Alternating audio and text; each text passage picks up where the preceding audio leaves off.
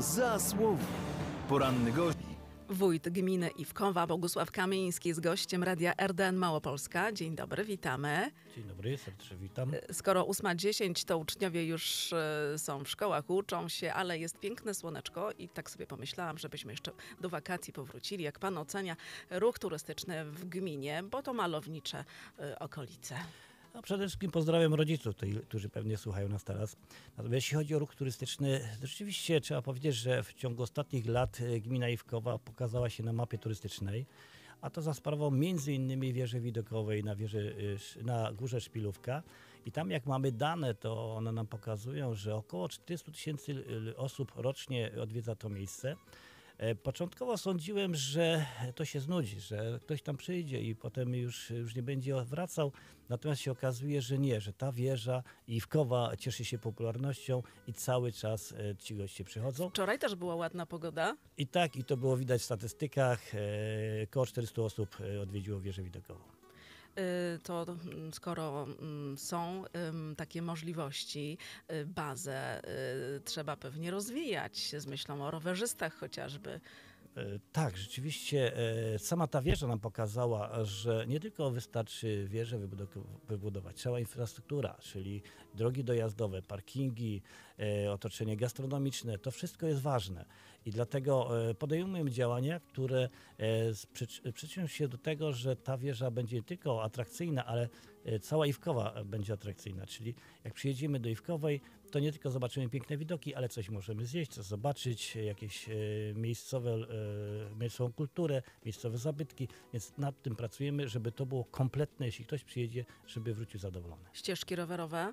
E, Też oczywiście e, to jest tak właśnie, tu jest piesza, e, turystyka piesza, a rowerowa się nam bardzo dobrze rozwija. Zresztą wszędzie chyba w Polsce widzimy to, tych rowerów przybywa, elektryków, elektrycznych rowerów przybywa i, i to widzimy w naszej gminie. I też oczekiwania mieszkańców, ale też i gości są takie, żeby tras rowerowych, ścieżek rowerowych było coraz więcej. W tym momencie budujemy ciąg pieszo-rowerowy łączący Porąbkę Iwkowską z Iwkową. Jakby pierwszy odcinek. Projektujemy w stronę właśnie wieży widokowej y, kolejny odcinek. I następny stronę Wojakową, Wojakowej i też pracujemy wspólnie z gminą Lipnica Murowana nad połączeniem gminy Iwkowa z Lipnicą Murowana. Mam nadzieję, że to się uda. E, To jest e, około 10 kilometrów. E, I już mamy jakby plany, e, mamy przebieg tej, tej, tej ścieżki rowerowej. Mam nadzieję, że znajdziemy fundusze i kiedyś w przyszłości zaproszę Państwa z Centrum Jewkowej do rynku e, w Lipnicy Murowanej, że będziemy mogli spokojnie z rodziną rowerkiem przyjechać. Skoro y, turystyczne atrakcje to także, y, albo przede wszystkim śliwka, ale o śliwce porozmawiamy nieco później. No tak, ale pomalutku czas pomyśleć o jesieni, o zimie. Ponad tysiąc wniosków wpłynęło, dodatek węglowy. Jak pan ocenia to zainteresowanie? To zainteresowanie świadczy o tym, że nasi mieszkańcy myślą o zimie. Czyli jak Indianie zbierali chrust, nasi mieszkańcy składają wnioski, szukają innych sposobów, żeby się zabezpieczyć przed zimą. E, Przeżyłem, jestem zaskoczony ilością tych, e, tych e, wniosków. Sądziłem, że ich będzie mniej, ale z drugiej strony to też świadczy o takiej zapobiegowości naszych mieszkańców. Czyli przygotowujemy się do zimy, jest możliwość e, otrzymania środków, składamy wnioski, ale jednocześnie nie zapominamy o tym, żeby e, mieć też drewno na, na zimę, bo przecież na terenie gminy jest 30% lasów. To są lasy prywatne, więc można, można to drewno pozyskać. Sądzę, że mieszkańcy Iwkowej będą przygotowani do zimy. Jak to będziecie weryfikować? Bo mm, słyszałam o takich sytuacjach, że ktoś y, ma piec, wziął dotację, ogrzewa y, chociażby gazem y, i mm, przypomniał sobie, że może postara się też o ten dodatek. To jest możliwe?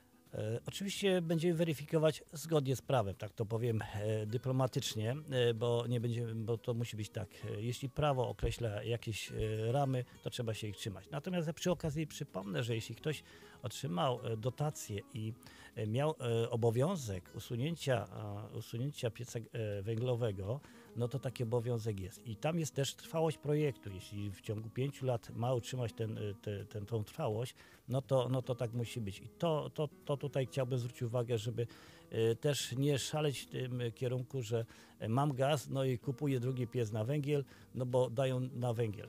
Proszę zobaczyć, jakie ceny mogą być węgla, czy nie lepiej y, przejść na, na gaz, czy nie będzie się nam lepiej opłacało.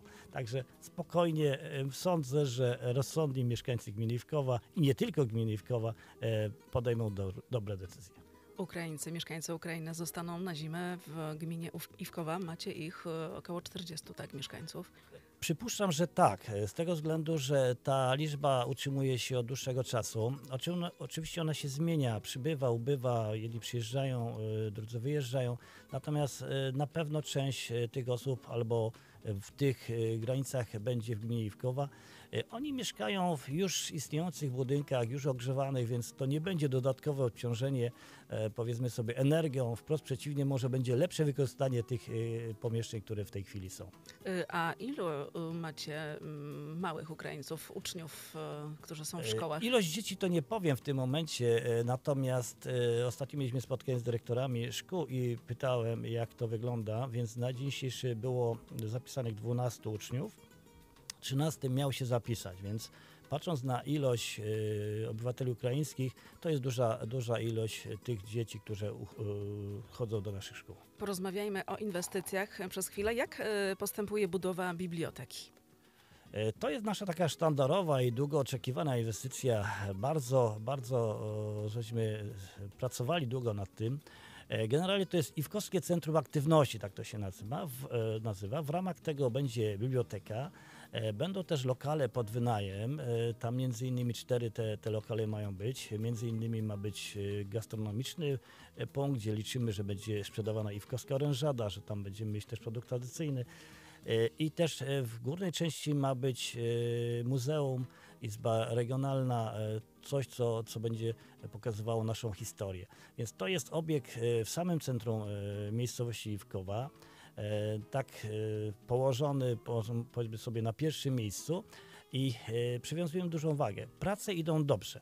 Jak na początku e, byliśmy zaskoczeni trochę podłożem, gdzie prawdopodobnie kiedyś tam były jakieś stawy albo, albo coś w tym rodzaju i, i był trudny start, można powiedzieć. Tak teraz te prace przebiegają sprawnie, e, firma się wywiązuje e, z tych zadań, które są. E, cały czas prace postępują, także jesteśmy bardzo zadowoleni i liczymy, że gdzieś e, na wiosnę Państwa zaprosimy do nowej biblioteki albo do nowego Centrum Aktywności Wiwkowej. A co z salą gimnastyczną? Y, To miejscowość Kąty przy szkole. O tak, to tutaj e, znowu młodzież e, i nie tylko, bo przecież z sali korzystają e, wszyscy mieszkańcy, więc to jest duża szkoła, e, druga pod względem wielkości w gminie, która nie posiadała e, sali gimnastycznej. E, Mało tego, to te sale dydaktyczne, które są, to są za małe, więc tam potrzeba rozbudowy szkoły plus e, salę gimnastyczną była bardzo duża. E, Poczęliśmy dużo starań, no i trzeba powiedzieć, że teraz Polski Ład dał nam możliwość e, sfinansowania tego. Jesteśmy na etapie wyłaniania e, wykonawców, e, wykonawcy i myślę, że w najbliższym czasie, e, a na pewno przed końcem roku prace budowlane się rozpoczną. Tutaj nasi goście w ramach e, spotkania słowo za słowo samorządowcy podczas e, tych wakacyjnych miesięcy apelowali, aby oszczędzać wodę. U Państwa także e, takie apele się pojawiły. Jak planujecie ten problem rozwiązać, aby w przyszłości no, ten problem jakoś rozwiązać? Woda jest dobrem, które jest ograniczone. I, I dlatego te apele, e, one muszą być ciągłe. My się musimy nauczyć e, oszczędzać wodę, e, oszczędnie nią gospodarować i też umiejętność jej zatrzymywania. Szczególnie na obszarach wiejskich, takie jak nasza gmina, można zrobić te, w ramach programu Moja Woda, czy, czy nawet bez programu e, zatrzymać tą wodę, żeby później była do podlewania. Więc te działania muszą być cały czas. Pierwsze to jest oszczędzanie. Druga to jest świadoma taka, e, albo może tak pierwsze, świadome gospodarowanie tą wodą, oszczędzanie. Natomiast jeśli chodzi o inwestycje z punktu widzenia gminy, to już żeśmy zaplanowali e, dodatkowe zbiorniki, dodatkowy zapas, rozbudowę e, głównej magistrali. Natomiast trzeba powiedzieć tak, że e, zasoby wodne gminy Iwkowa są niewielkie. My na dzień dzisiejszy korzystamy w dużej części z, y, z zasobów gminy Łososina Dolna. Oni nam dostarczają wodę, więc tutaj też ważna jest współpraca, że nie tylko sami od nas wszystko zależy, ale musimy również e, z innymi rozmawiać. Wójt gminy Iwkowa Bogusław Kamiński jest gościem radia RDN Małopolska. Przygotowując się do rozmowy, y, zobaczyłam, że pan ma bardzo ciekawy sposób komunikowania się z mieszkańcami. Nagrywa pan filmiki, opowiada. No i właśnie przy tej okazji zobaczyłam ten nowy samochód. Strażacy z Porąbki, tak, Iwkowskiej mają nowy samochód. W sobotę było poświęcenie. Mm, Kto nie widział, y, to opowiedzmy, co to za samochód, czy rzeczywiście była taka potrzeba, bo to wszystko zostało kupione z budżetu gminy Iwkowa. E, Tak, jeśli chodzi o te kontakty, one się narodziły w okresie pandemii, kiedy nie można było wejść do urzędu, kiedy były ograniczone możliwości, a była duża e, potrzeba uzyskania informacji. Wtedy żeśmy co tydzień nagrywali takie filmiki po to, żeby mieszkańców informować, co się dzieje na bieżąco, jak tam z pandemią. E, Teraz mamy co dwa tygodnie i te bieżące takie informacje najważniejsze staramy się przekazać. One oczywiście nie mogą być za długie, no bo wiadomo, sprawa, nie mamy zbyt dużo czasu. I przy tej okazji Państwo dowiedzieliście się, że mamy nowy samochód, nowo zakupiony samochód, y, rzeczywiście dla po, do SP Porąbka Iwkowska. No powiedzmy sobie, mieliśmy bardzo dużo szczęścia. E, Tutaj chłopaki z OSP, którzy na, na bieżąco e, analizowali rynek, znaleźli super okazję, bo e, samochód, który ma 5 tysięcy przebiegu, za 295 tysięcy zakupić, no to jest mistrzostwo świata, kiedy nowe samochody, powiedzmy sobie, milion dwieście czy ponad, sporo ponad milion kosztują. E, On e, wymagał pewnego e, kosmetyki i certyfikacji. Wszystko to zostało zrobione. I oczywiście pytanie, czy jest potrzebny. Jak najbardziej. OSP Porąbka jest 25 lat w Krajowym Systemie Ratowniczo-Gaśniczym. Miała samochody takie cywilne, które były dostosowane do potrzeb ratownictwa. W tym momencie jest to prawdziwy, typowy samochód terenowy, typowo terenowy, z odpowiednimi napędami, z odpowiednimi urządzeniami, który jest przygotowany do akcji gaśniczej. Także cieszymy się bardzo i wierzymy, że nie będzie za często używany, ale będzie służył mieszkańcom. Pan także w tym filmiku zachęca mieszkańców, aby byli online, tak? bo powstał portal interesanta, co można załatwić przez internet. Jestem ciekawa, czy trzeba namawiać już mieszkańców, jaki to procent już korzysta z urzędu online. E, Szanowni Państwo, no, jeśli chodzi o informatykę, czy nam się podoba, czy nie, czy lubimy, czy, czy nie, to jednak internet jest wszechobecny, korzystanie z, z narzędzi informatycznych jest e, powszechne, dlatego występujemy naprzeciw e, naszym mieszkańcom, żeby mogli e, to, co jest możliwe i ci, którzy czują się na siłach, żeby mogli te sprawy załatwić e, online e, poprzez internet.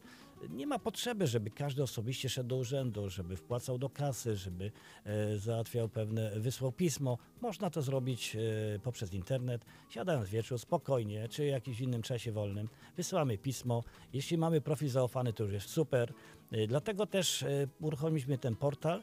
E, Mając właśnie podpis, e, profil zaufany, wchodzimy na nasze jakby konto i możemy sprawdzić, jakie mamy e, za- zobowiązania, kiedy żeśmy wpłacili, ile, ile nam zostało, odsetki. Wszystko mamy po prostu podgląd do tego, jak wygląda Jaki procent mieszkańców korzysta? W tej chwili, jak żeśmy mówili o, o fakturach elektronicznych, 30% e, zadeklarowało, że chce mieć faktury elektroniczne. Więc e, sądzę, że to jest, e, znaczy to jest na, na pewno proces. e, Natomiast jeśli te 30% już jest, no to będziemy e, dążyć do, do, do, do doskonałości. Natomiast wiem, że jest to proces i będzie wymagał dłuższego czasu. Ale powiedzmy sobie, każda faktura, która będzie elektronicznie, już nie będzie szła. To już jest oszczędność środowiska, pieniędzy, czasu i wiele innych rzeczy. Czas to nam bardzo szybko biegnie. Zaczęliśmy od tematu turystycznego. Bardzo o, bym tutaj ten temat śliwki suszonej chciała dotknąć, bo po pierwsze to jest e, dużo prawda, zakładów, e, gdzie się suszy e, śliwki, uprawia e, te śliweczki, które potem na przykład na wigilijnym stole w kompocie, to między innymi z gminy Iwkowa pochodzą. Święto suszonej śliwki odbędzie się 18 września. Stadion Olimpii Kąty. Co zaplanowano, panie wójcie? E, tak, Iwkowa słynie ze śliwki. Rzeczywiście e, kiedyś było tak, że w każdym domu była suszarnia i w każdym domu te śliwki sus- suszyło albo dokładnie wędziło. Teraz jest mniej tych producentów, ale tu już jest większa skala.